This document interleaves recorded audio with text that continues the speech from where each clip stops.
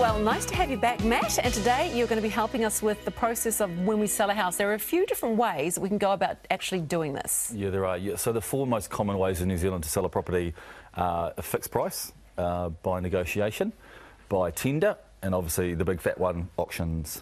Okay, so last week we discussed getting your salesperson right. Now we're going to find out the best way to actually sell your house. This will be quite a big decision. Yeah, a huge decision. You'd want to be talking to your agent about it.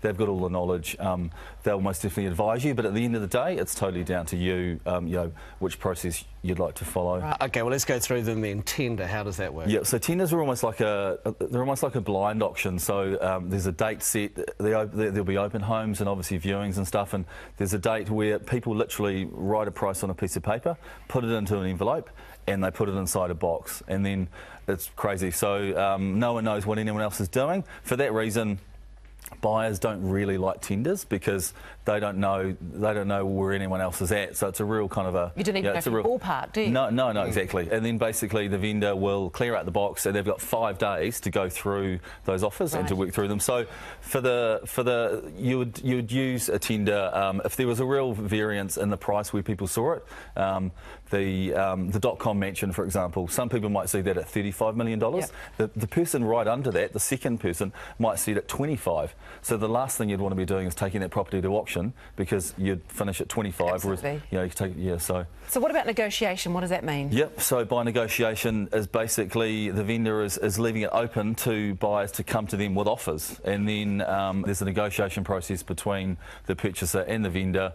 Hopefully, eventually, kind of getting to where they where they both agree on it. Um, so purchasers, quite good for purchasers. Um, there's no kind of mad pressure to be doing anything they don't want to be doing, and and quite good for vendors really. Again, it's quite a transparent, you know, two people basically having a, a conversation on paper and hopefully agreeing somewhere.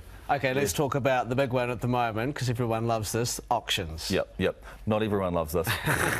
Purchasers don't love it at the moment. Yeah, so this is obviously probably I'd say probably not, at least 95% of properties in Auckland right. would be auctioned. Um, I personally auction almost all of my properties as well. Um, if you're a vendor and it's kind of a and your property appeals to quite a wide audience, I think you'd be mad not to take it to auction. You're really giving yourself the opportunity to go way beyond what you thought it was worth. You know so you might think your house is worth 800,000, bargain in Auckland these days, yeah, um, and it? take it to auction and you, you, might get up to 1.2 or something, you know, as we've called read in the papers. Right. And we, should quickly, just very quickly touch yep. on the last one, fixed price. Yep. Is that ever a good idea? Yeah, yeah, I think, um, I mean, again, if, if, I was advising people, I'd advise them to take it to auction, but some people know what they want, you know, they're comfortable with that, that's the way they want to play it, and also you see a lot of fixed prices come on after houses go to auction, and if they haven't sold, um, people would usually put a, people would usually put a fixed okay. price on it. Nice, I love talking houses. I find it really so exciting. So, so Matt O'Brien from Barfoot and Thompson, thank you very much. We'll keep you updated with whatever is coming up housewise